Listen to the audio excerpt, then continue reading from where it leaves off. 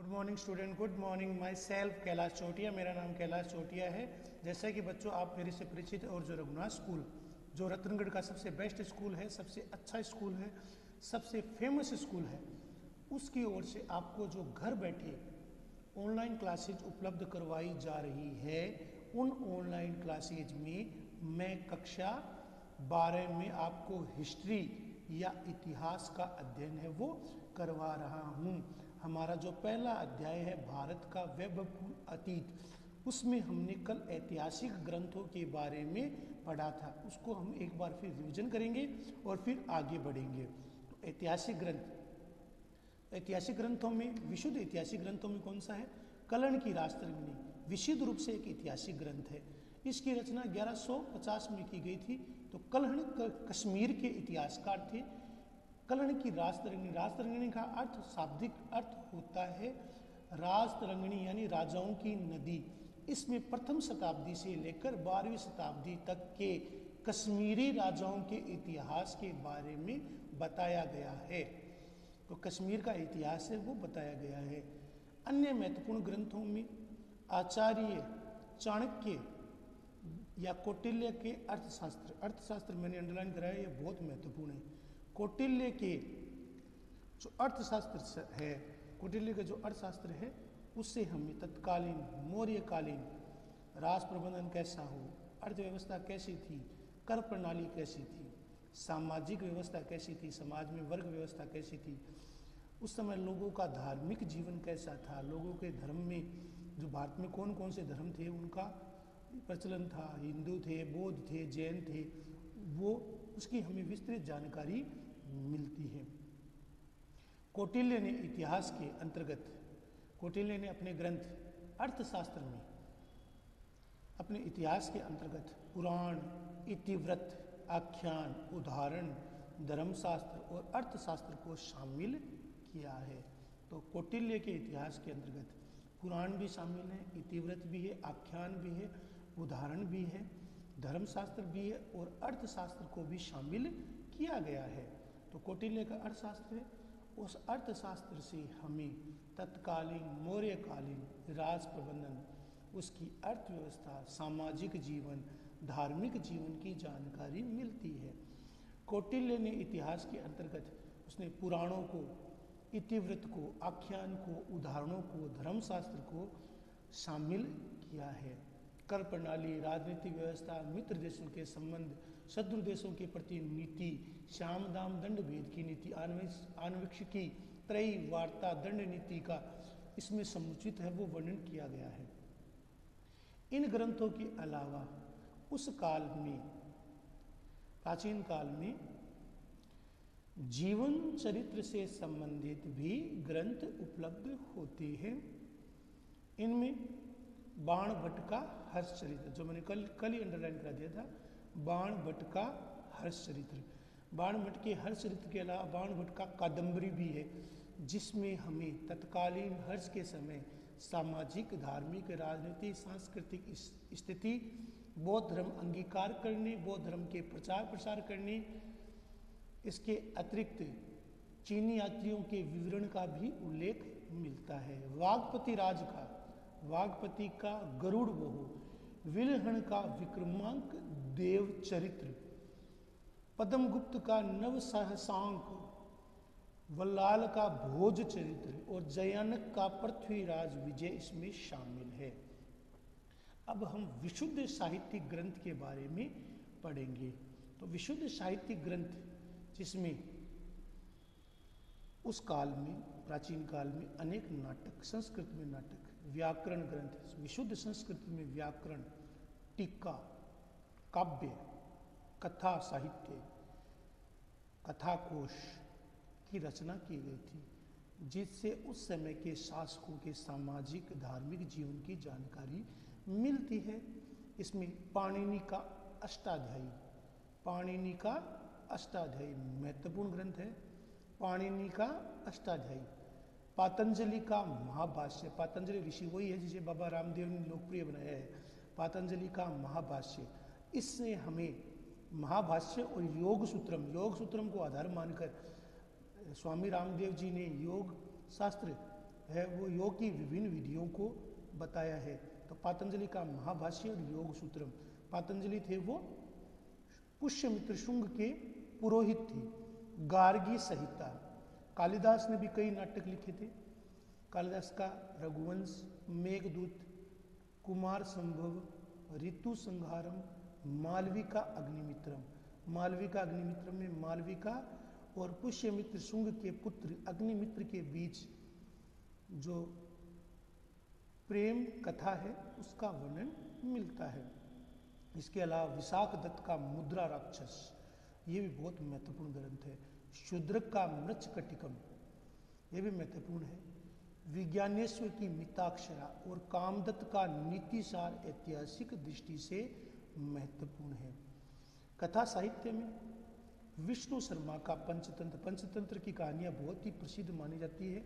पंचतंत्र की कहानियों के माध्यम से जीव जंतु प्राणियों, पशुओं के माध्यम से हमें विभिन्न प्रकार की धार्मिक, नैतिक, सामाजिक शिक्षा वो दी गई है। तो विष्णु शर्मा का पंचतंत्र गुड़ान्य का वृहत कथा क्षेमेंद्र की वृहत कथा, मंजरी सोमदेव का कथा सरित सागर, अमर सिंह का अमरकोश ये बहुत महत्वपूर्ण है। अमर सिंह का अमरकोश जिसने व्याकरण से संबंधित ग्रंथ है, आदि प्रमुख ग्रंथ है, इससे हमें तत्कालीन समाज की जानकारी मिलती है।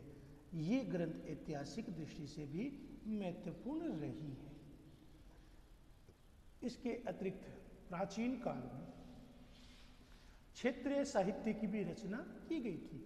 क्षेत्रीय साहित्य भी विशुद्ध मात्रा में लिखा गया था। क्षेत्रीय साहित्य भी उस काल में अत्यंत समृद्ध और विकसित हुआ था। तो क्षेत्रीय साहित्य में क्षेत्रीय भाषा, तमिल, तेलुगु, कन्नड़, मलयालम, जो हमारी प्राचीनतम भाषाएँ हैं, प्राचीन भाषाएँ संस्कृत के अलावा तो क्षेत्रीय भाषाओं में, ग्रंथों में प्रचुर ऐतिहासिक सामग्री मिलती है। प्राचीन तमिल तमिल की गिनती संस्कृत के बाद सबसे प्राचीनतम भाषाओं में होती है। तो प्राचीन तमिल साहित्य, जिसे हम संगम साहित्य कहते हैं, जो प्राचीन तमिल साहित्य है, उसे हम संगम साहित्य के नाम से जानते हैं। तो संगम साहित्य क्या है? संगम साहित्य। जो प्राचीन तमिल साहित्य है, उसे हम संगम साहित्य कहते हैं। इस साहित्य के रचयिता या प्रणेता अगस्त ऋषि थे।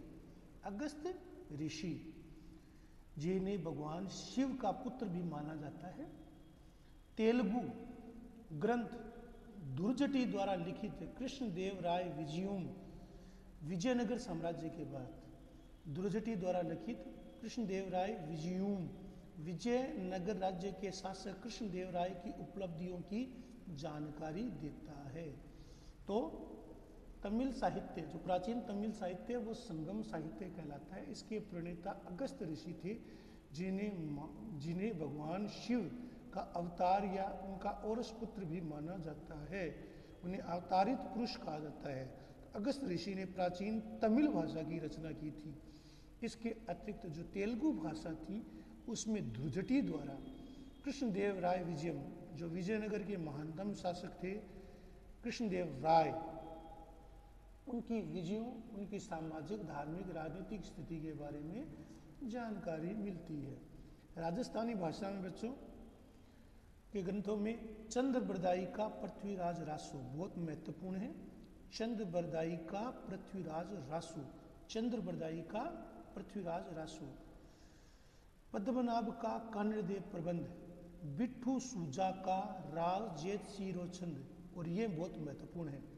सूर्यमल मिश्रण का वंश भास्कर, सूर्यमल मिश्रण का वंश भास्कर बहुत ही महत्वपूर्ण है। नैणसी का नैणसी की ख्यात, ये भी बहुत महत्वपूर्ण है। तो नैणसी नैणसी ख्यात और बांकी दास की ख्यात प्रमुख हैं। तो चंद्रप्रदायी का पृथ्वीराज राजस्व, सूर्यमल मिश्रण का वंश भास्कर, मोहनोत्र नैणसी का नैणसी की ख्यात और बांकी दास की ख्यात प्रमुख है। तो हमने यहाँ पर प्राचीन तमिल साहित्य के बारे में पढ़ा, जिसको हम संगम साहित्य कहते हैं। इसके प्रणेता अगस्त ऋषि माने जाते हैं। दुर्जटी देर, दुर्जटी द्वारा तेलुगु भाषा में कृष्णदेव राय विजयूम विजयनगर के राजा कृष्णदेव राय की उपलब्धियों के बारे में जानकारी देता है। चंद्रबरदाई का पृथ्वीराज राजस्व चंद्रबरदाई थे, वो पृथ्वीराज चौहान के मित्र कवि, मंत्री, राजकवि, राजदरबारी थे। इसके अलावा सूर्यमल मिश्रण का वंश भास्कर मुनोत नेणसी नेण या नेणशिरी ख्यात। तो नेणसी का नेणसी की ख्यात और बांकीदास की ख्यात है वो प्रमुख है। अब हम विदेशी विवरण के बारे में पढ़ेंगे। प्राचीन काल में भारत, आपको पता है, सांस्कृतिक, धार्मिक, साहित्यिक, आर्थिक गतिविधियों का केंद्र रहा। प्रथम शताब्दी या प्राचीन काल में छठी शताब्दी ईसा पूर्व से लेकर करीब 900 ईस्वी तक भारत है, वो अर्थव्यवस्था का केंद्र रहा। बाद में 15 से 16 शताब्दी तक है, वो भारत है। वो व्यापारिक दृष्टि से, आर्थिक दृष्टि से धन संपन्न रहा था। हमारी जो आर्थिक स्थिति वो अंग्रेज़ों के आने के बाद ही खराब हुई है। तो प्राचीन काल से आपको पता है, भारत दुनिया की सांस्कृतिक, धार्मिक, आर्थिक, व्यापारिक गतिविधियों का केंद्र रहा था। भारत के व्यापारिक संबंध है, वो दुनिया के हर देश से थे। रहे थे। धर्म और दर्शन का ज्ञान प्राप्त करने के लिए।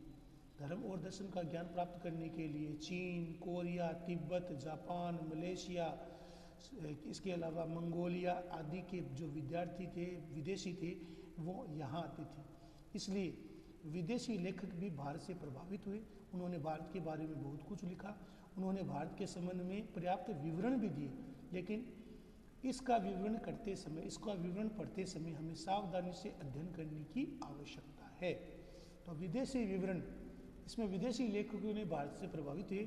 उन्होंने भारत के बारे में पर्याप्त विवरण दिया, लेकिन ऐसे विवरण को पढ़ते समय हमें सावधानी पूर्वक अध्ययन करना चाहिए, क्योंकि इसमें अतिरेक या अतिशय वर्णन भी मिलता है। अब हम यूनानी साहित्य के बारे में पढ़ेंगे। तो यूनानी लेखकों में, जो आपको पता है, चंद्रगुप्त मौर्य के समय ही यूनानी लेखक थे, उनका भारत में आगमन शुरू हो गया था।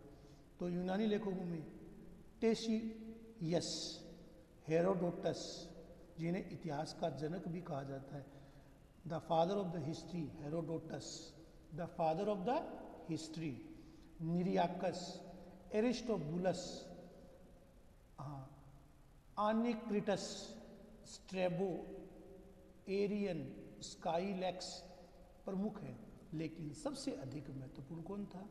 लेकिन सर्वाधिक महत्वपूर्ण जो लेखक था, वो चंद्रगुप्त मौर्य के दरबार में आने वाला यूनानी राजदूत मेगस्थनीस था, जिसने चंद्रगुप्त के दरबार में रहते हुए एक अपनी ग्रंथ लिखा, जिसका नाम था इंडिका।